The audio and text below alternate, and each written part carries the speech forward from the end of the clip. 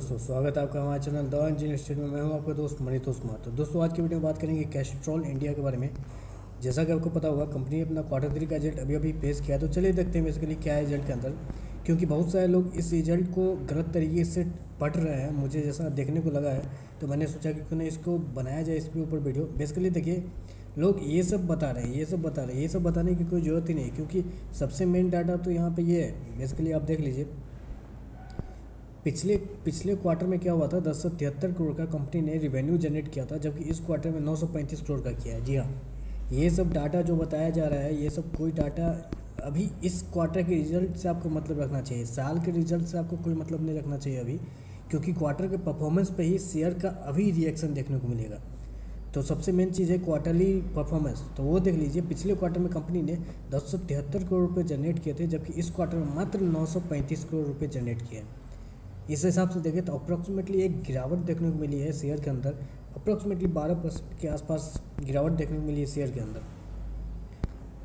Revenue के अंदर, share की रेवेन्यू के अंदर। लेकिन ओवरऑल क्या बन गया है? सबसे मेन चीज़ वहाँ पे यही है, क्योंकि देखिए बेसिकली पिछले क्वार्टर में हुआ क्या था? कंपनी ने एक सौ पचासी करोड़ का प्रॉफिट पोस्ट किया था, लेकिन इस क्वार्टर में एक सौ सतासी करोड़ का प्रॉफिट पोस्ट किया। जी हाँ।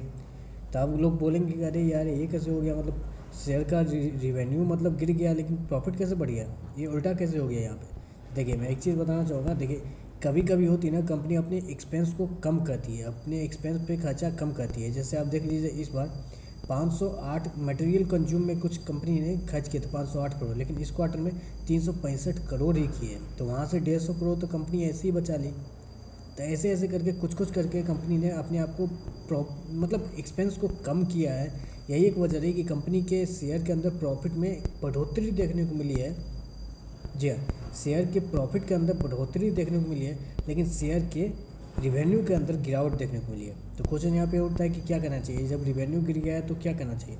देखिए मैं एक चीज़ बताना चाहूँगा आप सभी को पता है कि पेट्रोल डीजल जो ये कंपनी बनाती है मतलब कैस्ट्रोल जो पेट्रोल बनाती है मतलब डीजल बनाती है तो सबसे मेन चीज़ क्या होता है? देखिए आजकल कि, कितने गाड़ी में मतलब डीजल मतलब ये अब आपको पता है इलेक्ट्रिक व्हीकल जो है इलेक्ट्रिक व्हीकल जो है, आजकल मार्केट में हाइप बना हुआ है, हवा बना हुआ है electric vehicle electric vehicle vehicle निकल भी रही है, बहुत ज़ोर शोर से निकल भी रही है। यही एक वजह रही कि कैस्ट्रोल जैसे दिग्गज दिग्गज, इतने बड़े दिग्गज, ये B P C L I O C ये सब सारे शेयर गिर रहे हैं। क्यों गिर रहे हैं? क्यों? एक ही वजह है इलेक्ट्रिक व्हीकल जब मार्केट में इलेक्ट्रिक व्हीकल आ जाएँगे तो ये कौन पूछेगा इन सारी चीज़ों को?